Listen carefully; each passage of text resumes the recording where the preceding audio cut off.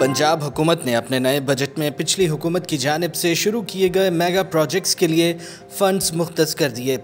Funds जारी और हाल ही में शुरू किए गए मनसूबों जैसे कि Rawalpindi ring road, Leh expressway Kachehri Chowk, कई अंडरपास, तीन हस्पताल छः डैम और सड़क के बुनियादी ढांचे, खेलों, सेहत और पानी की फरहमी के मनसूबों के लिए मुख्त किए गए हैं।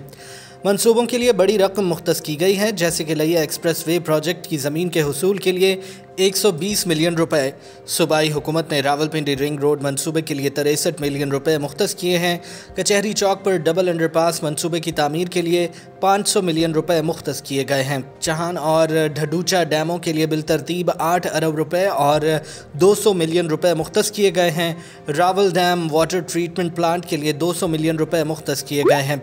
कई दूसरे नए और जारी मनसूबों को शुरू करने या उनकी तामीर में तेज़ी लाने के लिए रकम मुख्त की गई है।